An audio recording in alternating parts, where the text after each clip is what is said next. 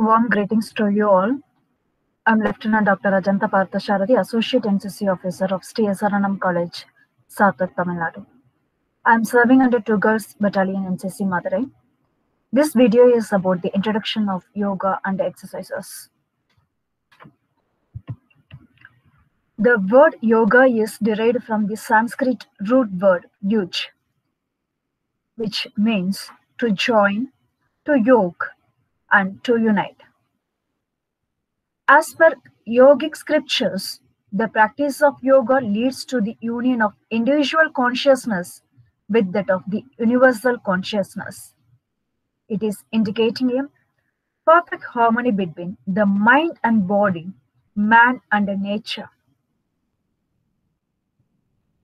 The pre-philosophical speculations and the diverse ascetic practices of first millennium BC were systemized into a formal philosophy in early centuries AD by the Yoga Sutras of Patanjali. By the turn of the first millennium, Hatha Yoga emerged as a prominent tradition of yoga distinct from the Patanjali's Yoga Sutras, while the Yoga Sutras focus on the discipline of the mind. Hatha Yoga concentrates on health and the purity of the body. Hindu monks, beginning with Swami Vivekananda, brought yoga to the West in the late 19th century. In the 1980s, yoga became popular as a physical system of health exercises across the Western world. Many studies have tried to determine the effectiveness of yoga as a complementary intervention for cancer, asthma, and heart patients. Now let's see the purpose of yoga. Generally, yoga is a disciplined method utilized for attaining a goal. In this sense, the purpose of yoga depends on the philosophical or theological system with which it is conjugated.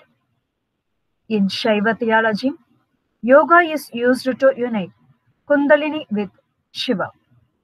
Mahabharata defines the purpose of yoga as the experience of Brahman or Atman pervading all things. In contemporary times, the physical postures of yoga are used to alleviate health problems, reduce stress, and make the spine supple.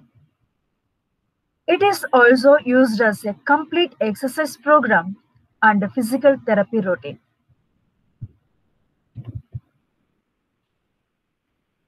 There are innumerable asanas for curing ailments and maintain good health.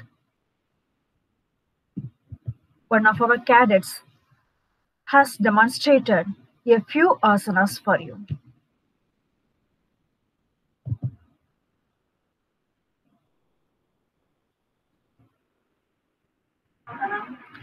Padmasana, which is otherwise known as lotus position. It is a cross-legged sitting meditation pose from ancient India, in which each foot is placed on the opposite thigh. This asana, asana helps to cure diseases like asthma, hysteria, and insomnia.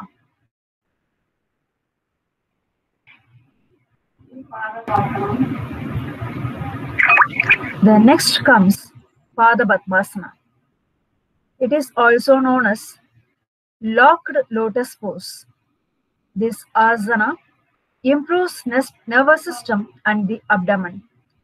It also cures drowsiness, sleepiness, laziness, and a night discharge.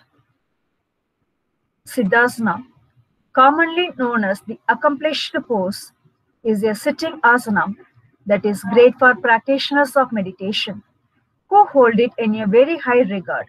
The main function of the asana is to awaken the power of Kundalini.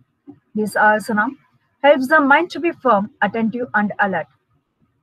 Next comes Chakrasana. Otherwise known as wheel pose, the chest expands and the lungs get more oxygen. This makes the pose especially beneficial for asthma patients. It reduces the stress and the tension in the body It sharpens eyesight. This asana helps to strengthen the back and increases the elasticity, elasticity of the spine. Yoga is a time-tested, well-researched form of exercise, having deep religious and medical overtones. The deep and positive effects of yoga on the body and mind of a practitioner can be felt better by doing it under a trained teacher. Once a person initiates himself into the medico spiritual world of yoga, it is difficult for him to detach himself from it. Thank you.